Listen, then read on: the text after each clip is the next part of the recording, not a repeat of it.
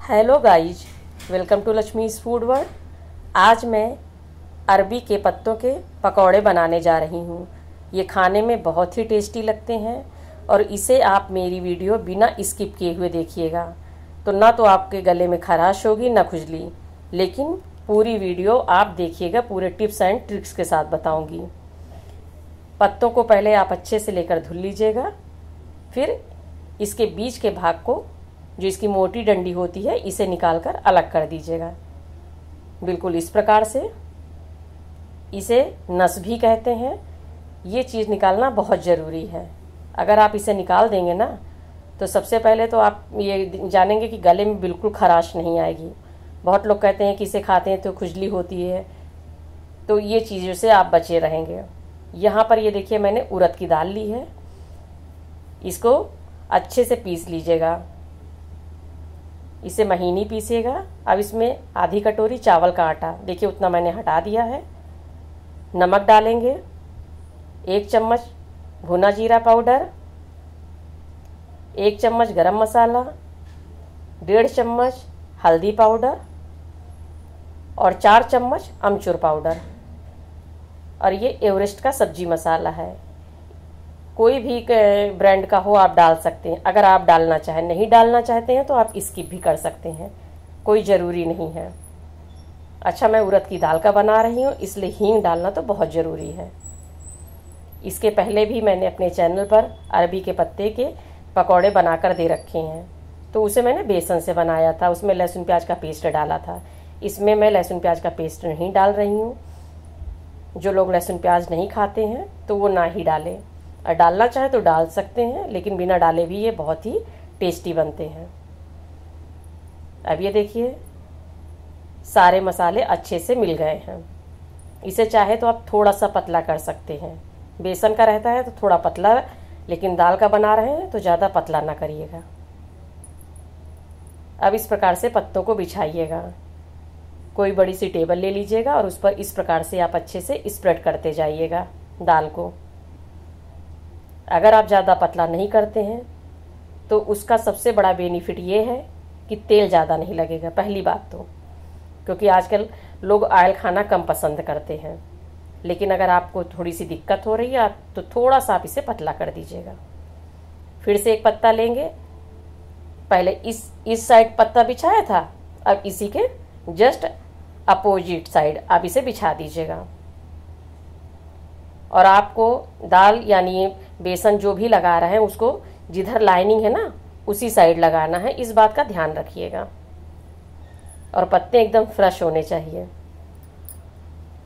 कोशिश करें कि अगर आपको छोटे पत्ते मिल जाते हैं तो उससे तो डेफिनेटली आपके जो है गले में खराश नहीं आएगी।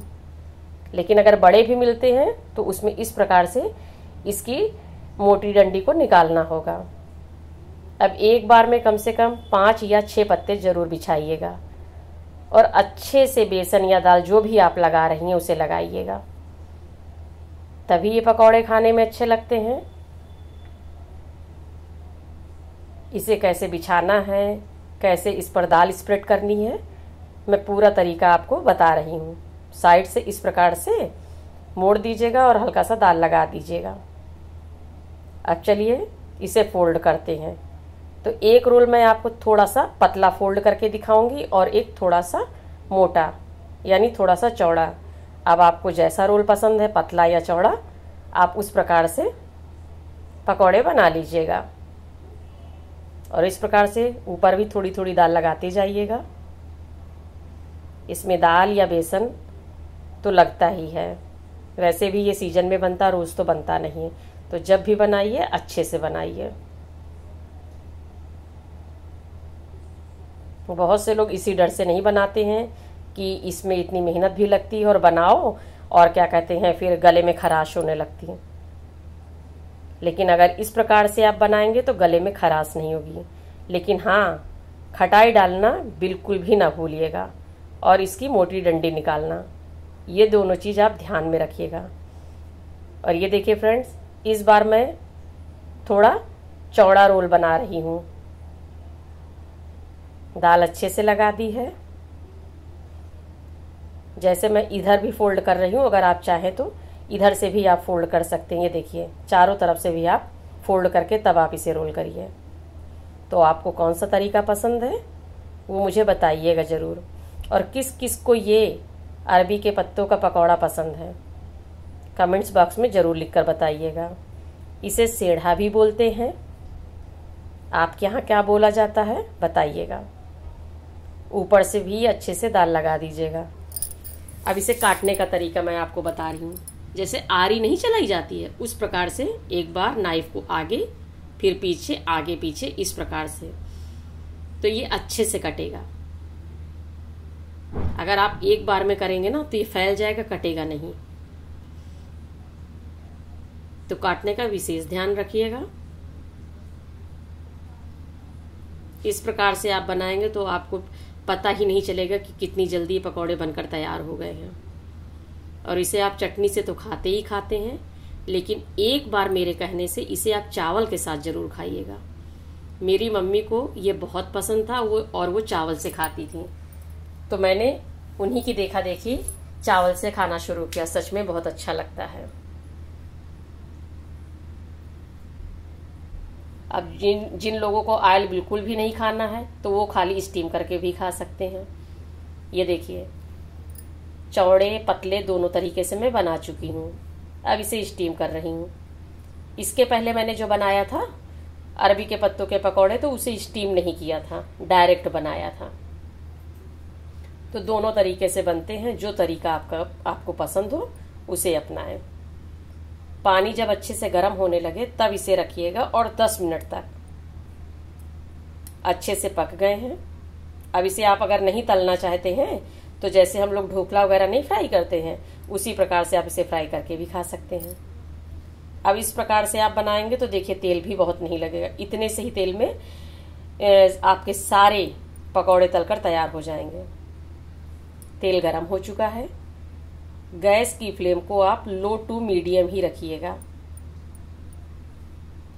अब यहाँ पर एक बात और बताना चाहूँगी कि इसे आप खुला भी मतलब बिना ढके भी बना सकती हैं, लेकिन मैं ढककर ज़रूर बनाऊँगी। उसका कारण ये है कि ये काफ़ी मोटे होते हैं।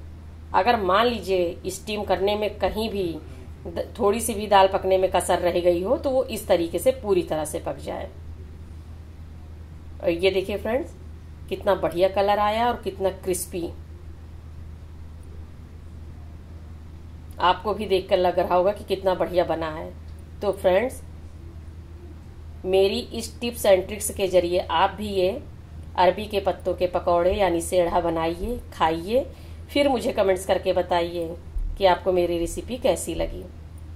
और यकीन मानिए, गले में बिल्कुल भी खराश नहीं होगी। इस चीज़ की तो मैं गारंटी देती हूँ।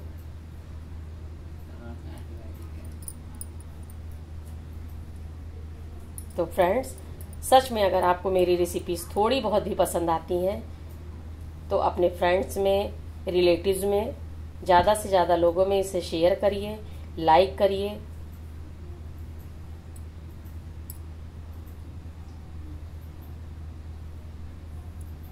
और ये देखिए फ्रेंड्स कितने करारे करारे पकौड़े बनकर तैयार हो गए मैं आपको एक तोड़ कर दिखा रही हूँ साइड से। बहुत ही क्रिस्पी बने हैं। और ये देखिए, बिना मौसम के आम की चटनी मैंने बनाई है, वो भी कच्चे आम की। तो इसकी भी रेसिपी मैंने अपने चैनल पर दे रखी है। लिंक मैं आपको डिस्क्रिप्शन बॉक्स में मेंशन कर दूँगी। तो फ्रेंड्स मिलते हैं नेक्स्ट रेसिपी के साथ। तब तक के लिए थैंक यू इन्जॉय करिए आप लोग भी।